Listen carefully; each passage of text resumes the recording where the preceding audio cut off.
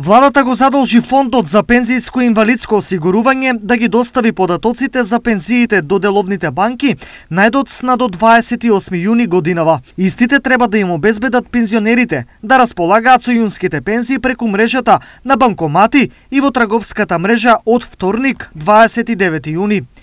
Исплатата на шалтер и понатаму ќе се одвива во 4 групи според висината на пензијата.